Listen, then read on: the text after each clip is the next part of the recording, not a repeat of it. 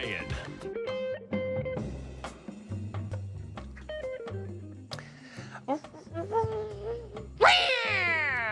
Welcome, folks. This is Tom O'Brien of TFNN.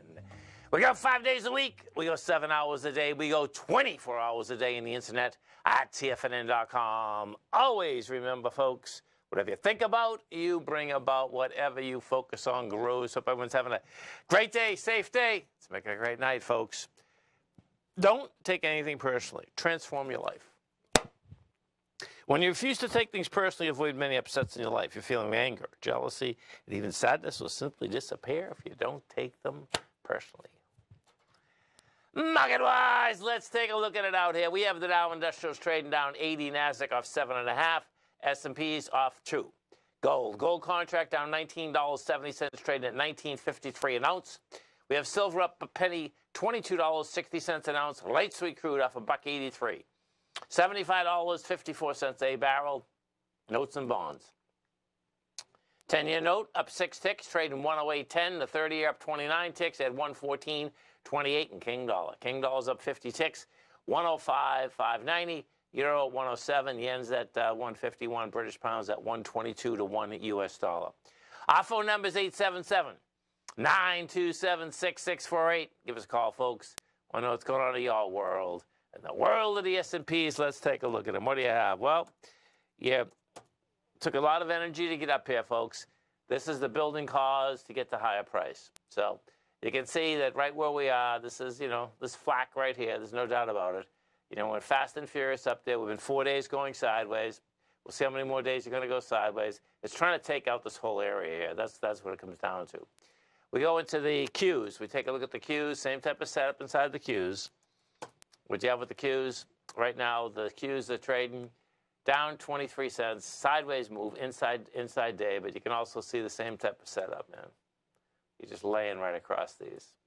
So notes and bonds. We take a look at the note and bond market. So we have with the 10-year note, what you have, you know, we're going to need some more volume in order to sustain higher price in this 10-year. We're at 1.5 million contracts right now. You know, we had the swing come in at the 2.8. So, you know, last Friday was 2.8. It had volume, took out a swing point.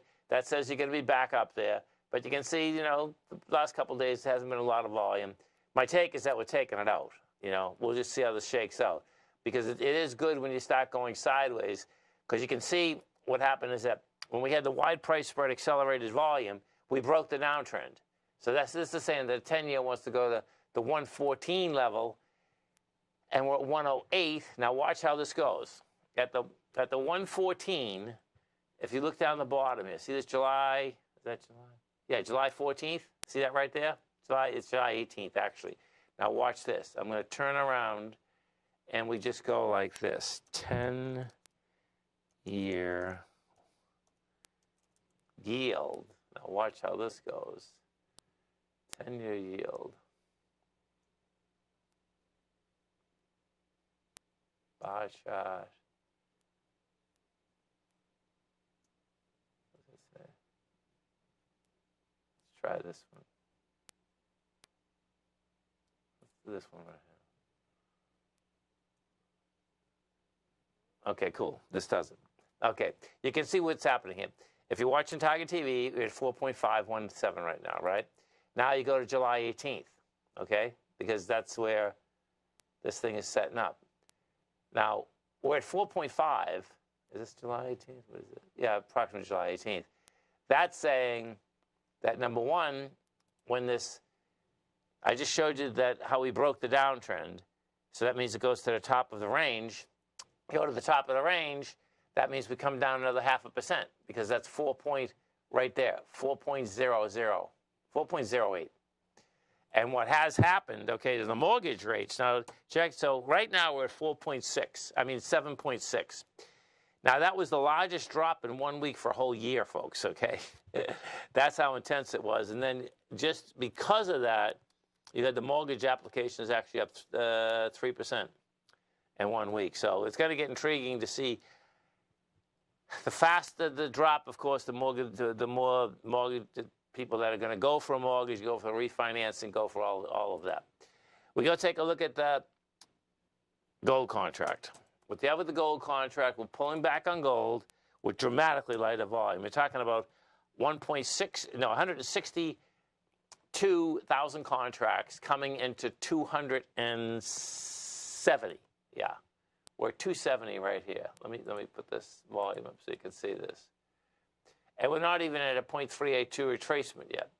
So the gold contract can go to lower price, and you know we'll see when we get when we get the rejection. You know, there's another spot right underneath here that was a huge sign of strength. You can see that that was at the uh, 1946 level, or 19. The high was 1946. That low there was uh, 1881. Actually, that was a huge day.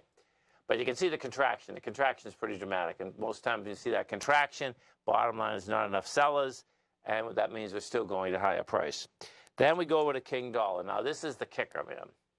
Because when we take a look at King Dollar, what you're going to see here is that each day it's having a hard time to try to get back in its higher range. That's how this is shaking out. You know, we, we saw that you break, you broke the consolidation. We break the trend line first on the way up. Then we broke the consolidation. And you can see that consolidation was going on for approximately three weeks. Then it broke down. Now you're trying to get back in the higher range. Now that higher range starts at 109,559. And you can see we're at 109, I mean 105. One second, yeah, 105. Oh, no, 105? Yeah, it's 105, 559. And we're at 105, 575. We tried it yesterday, couldn't handle it. Come up today, couldn't handle it. That's telling me that what? That we are on our way, bingo, right down here. That's and that move. Well, first a move I suspect we'll get some support at 104. Yeah, the 104 699 level, because that's where we broke out from. But all of this down here, this wants lower price. Oil. Let's go take a look at the oil market. Oil's been getting toasted and roasted. And we take a look at that oil market out here. Yeah, you're downward volume again. Oil's on its way to 72 bucks, man. Yep. We're at uh, 75.60. We hit 74.91. You get 396,000 contracts, so you're still coming down, you know, with volume. And there's, there's just nothing. You're, you're right in the middle. There's nothing here to hold oil up. Stay right there, folks. Come right back.